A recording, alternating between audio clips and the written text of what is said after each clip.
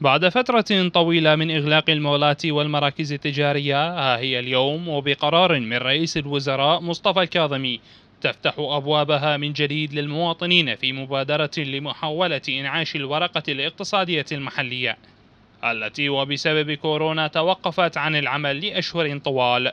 انفتح المول لدخول الزبائن بعد إصدار القرار الأخير لدولة رئيس الوزراء ومشكور دولة رئيس الوزراء على إصدار هذا القرار هو بفتح المول وكذلك نوجه شكرنا إلى اللجنة العليا للصحة والسلامة الوطنية باتخاذهم هذا القرار.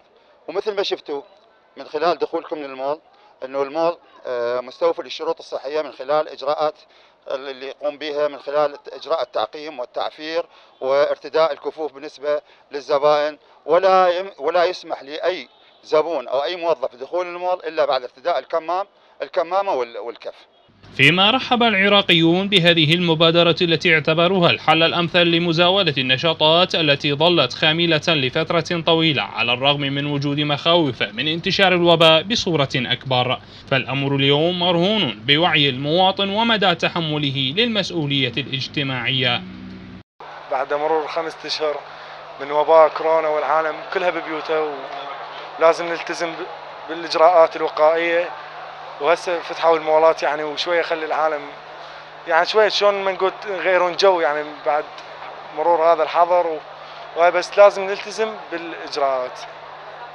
كمامات وهاي لازم نلتزم بهن نرحب بالقرار الجديد مال فتح المولات وحظر التجوال وفرحانين. وإن شاء الله بردا وسلاما على العراقيين. وأهم شيء يلتزمون بالكمامات والشفوف أهم شيء الوقاية لمصلحتهم لمصلحه العوائل.